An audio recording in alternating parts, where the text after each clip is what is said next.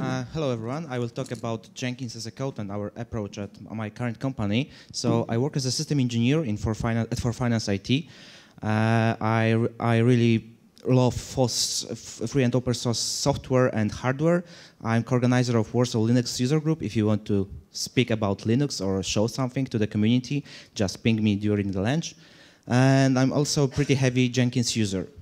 Uh, okay, so I would like to do a quick poll. Do we have any Jenkins users here?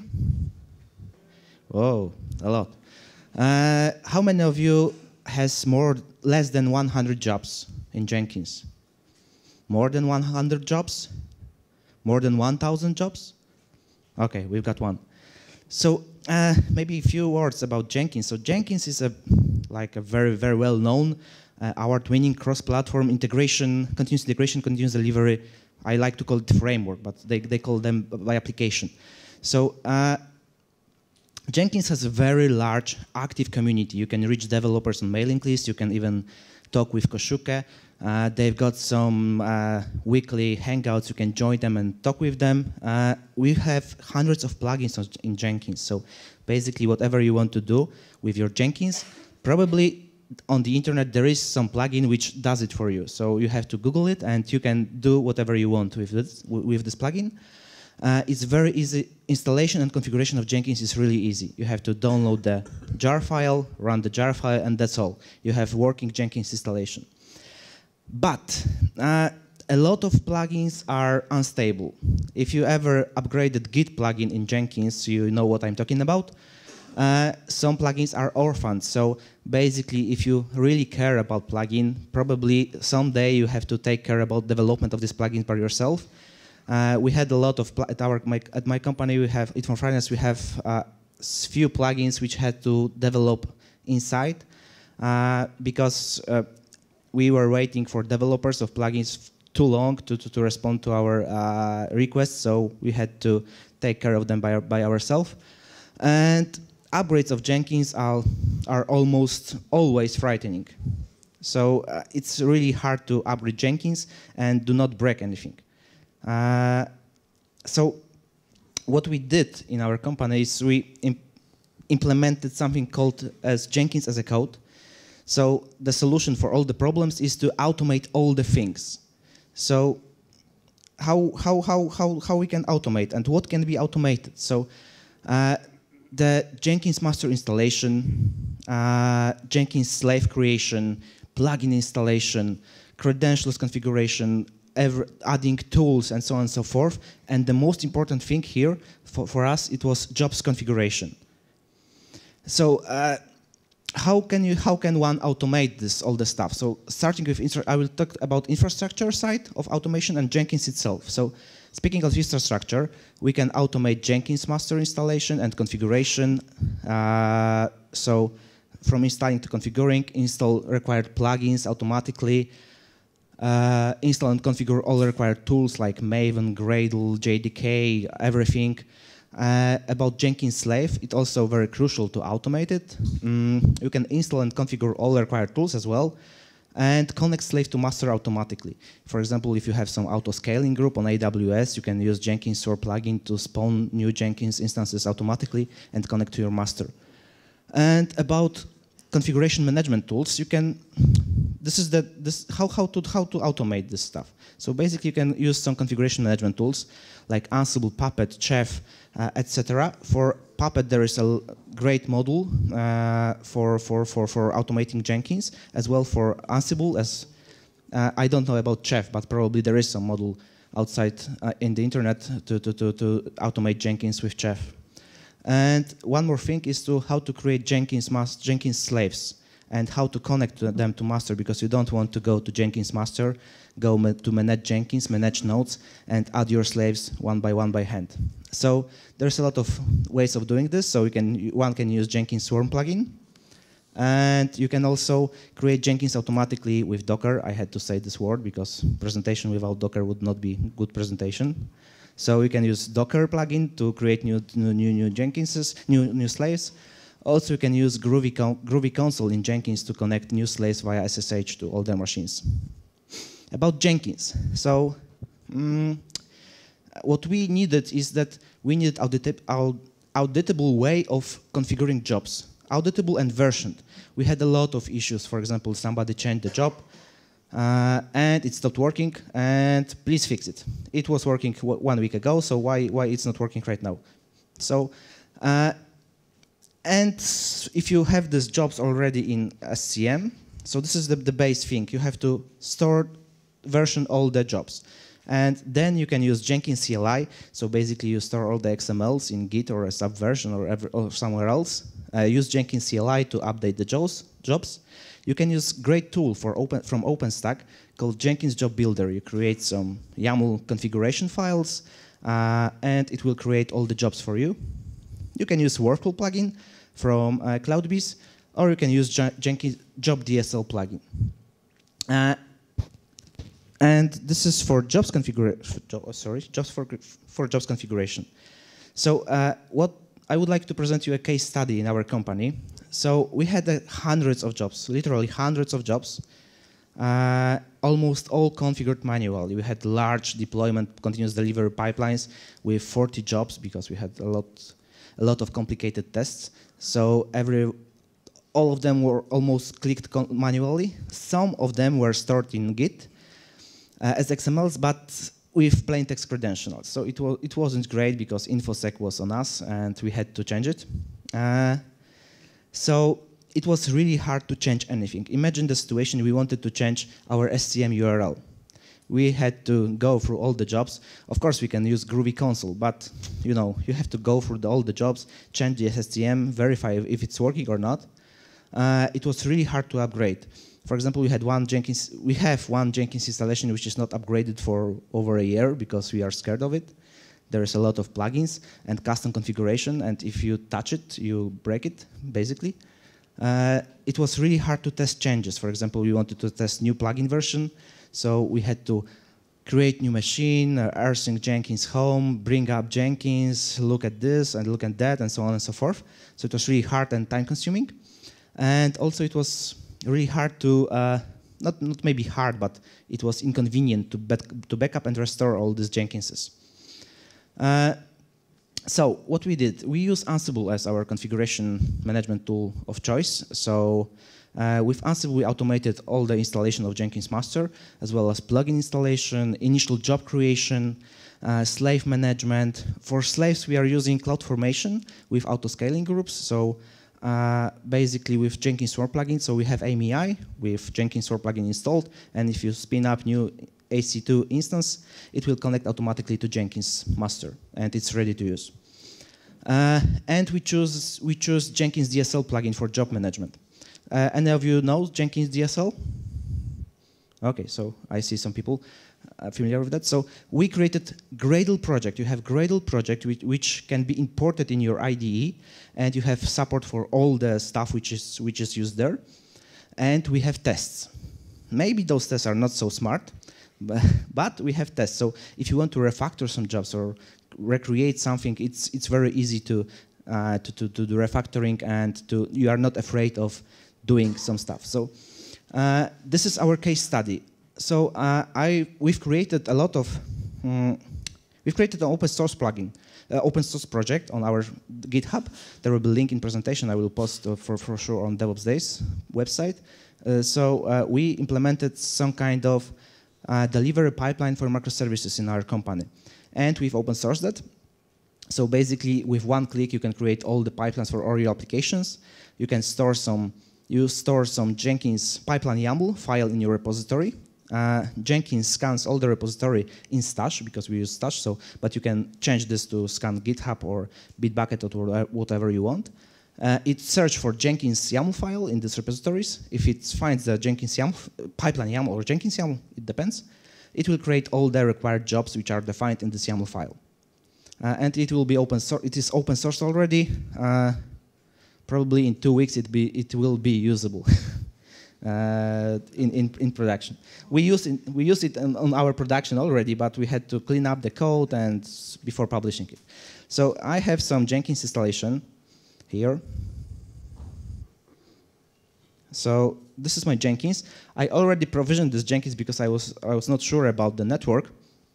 So I'm using Ansible for provisioning. I will also post this code to GitHub so you can you can be able to play with it with Vagrant. Uh, so what what this Ansible code does is it will set up whole Jenkins, create JDK, and create some initial seed job. So this job, if we run this job, oops.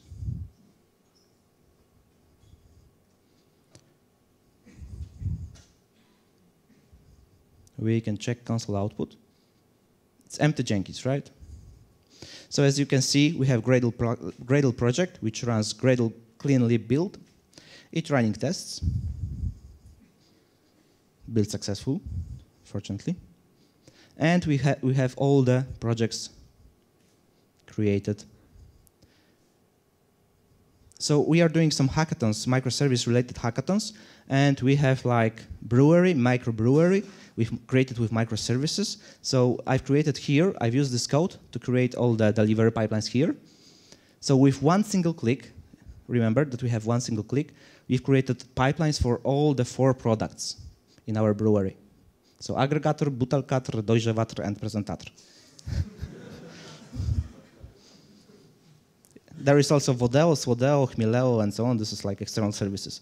So with one click, you are able to to create all the jobs. You have these jobs in stored in SCM. I will show you the GitHub repository. It's github.com slash uservices hackathon. So the job definition looks like this for the pipelines. And that's all. That's, that's the whole code which is required to create all those pipelines for all the projects. So currently in our Jenkins, we are moving all the stuff from GoCD and all Jenkinses to new approach with Jenkins Job DSL. And for now, we have something about 1,000 jobs maybe. And it's really scalable and we have history of all the changes. And the funny thing is that you don't have to back up all the Jenkinses all the time. We had a situation when one of our colleague wanted to remove few jobs and he misplaced the exclamation mark in Groovy, in Groovy console. So instead of removing eight jobs, he removed every job except those eight jobs. So getting back all the, all the pipelines from Jenkins DSL took us five minutes, I guess. So it was really cool. So I encourage you to, to test it. Uh, I will post, I will, I will, probably I will post the presentation with all the links to GitHub sites uh, on the DevOps Days site soon. Okay. So, uh, oops. So as so there are some rumors about Jenkins 2.0 getting out soon. So is there anybody who likes Jenkins UI here? I see one hand there in the back. Yeah, of course, but do you like, for example, this configuration page when you don't know which button is to which section? Ah, okay. okay, so uh, Jenkins 2.0 will be released in the end of January, as, as, as the Kohsuke wrote an email to mailing list, probably by the end of January. Uh, from the like the biggest changes there, it will be Groovy will be moved out of the core. So now we had a problem with Jenkins DSL. Uh, because if you want to new, use the newer Jenkins, newer version of Groovy for some crazy stuff, you cannot because uh, older version of Groovy is still in the core. So it's like crashes. Uh, also, they will, if, if you ever wanted to create a new plugin for Jenkins, you know this JavaScript, CSS stuff is a mess. So they will modularize all the JavaScripts in Jenkins. So it would, it, they said that it would be cool to, to have it. So they will also implement the new website uh, where you can find all the information easily and all the help easily and create tickets from them and so on and so forth. And they hired a guy for UX.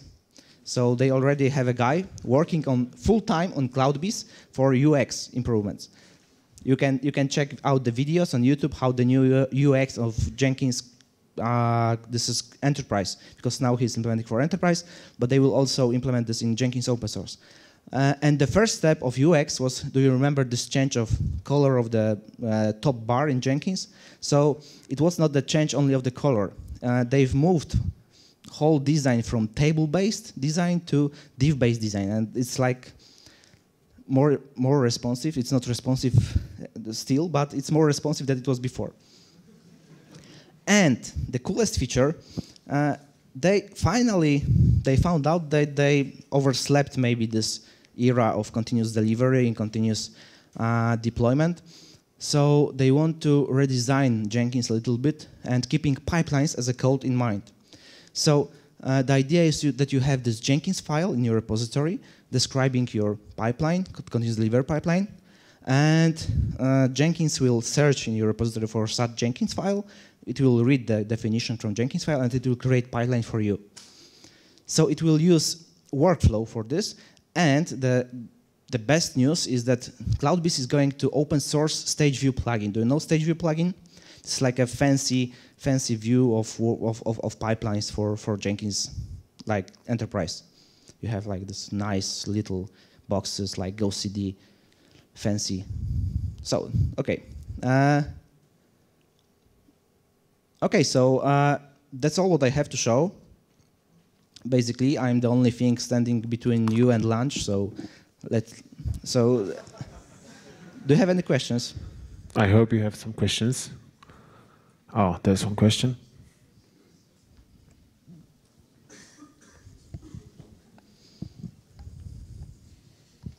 Hey, thanks for your presentation. Uh, if Jenkins can be a code, is it testable? Are Jenkins job jobs testable? Uh, uh, we do test this code like we use Jenkins DSL to generate XMLs, and we test XMLs if they are correct for now. But you can use something like, I don't know, Serverspec or InSpec just to test the output of, of those jobs. It's, it's, it's, it's really hard to, to, to test those jobs right now, to be honest. Thanks.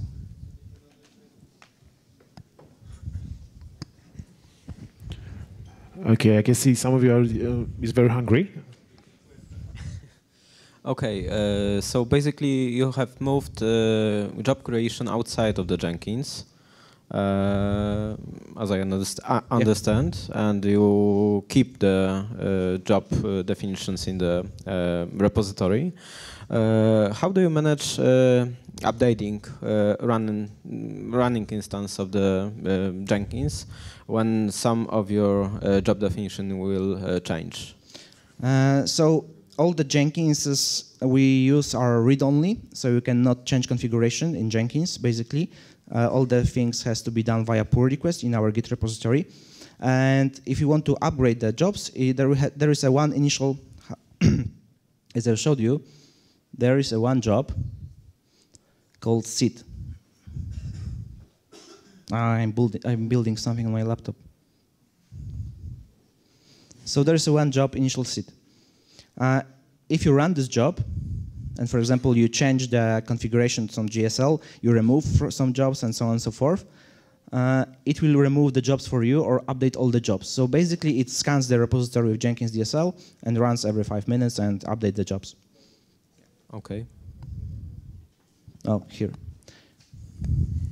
Uh, so I have a question about like um, workflow uh, yep. specifically because uh, so is workflow more like an alternative to your solution or you could mix those two because in workflow you can uh, have a source of groovy from the git repository but you need to create the job by hand so could you like use your tool to provision it with like specific workflows yes, which will course. fetch the groovy configuration for workflow which is actively developed i think currently yes of course and i was really confused about this workflow and jenkins dsl and what i've heard on JenkinsConf from Kohsuke it's like it's not the it's well, the Jenkins DSL is not going to replace workflow, and workflow is not going to replace Jenkins DSL. It's like two tools which can be used together to get your job done, basically.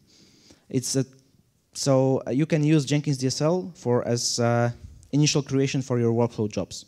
So if you have you are a heavy user of workflow, it's really easy to just create these jobs, initial jobs for workflow with Jenkins DSL.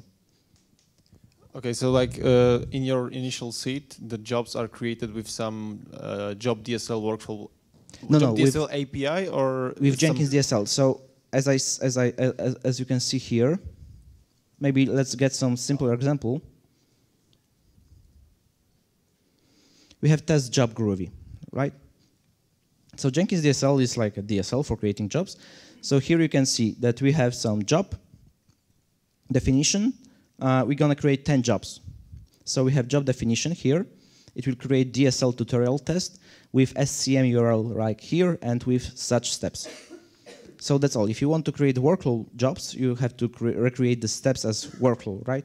So you just create your initial workflow jobs with, with, with Jenkins DSL. So, so both plugins should be supported by the community and they're really actively developed. Uh, yes, yes, I guess. I hope okay, so. Cool, thanks.